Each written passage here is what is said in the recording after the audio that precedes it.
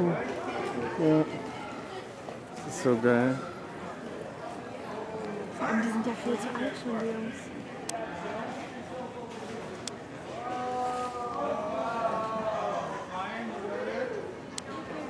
Okay, mal rauskommen.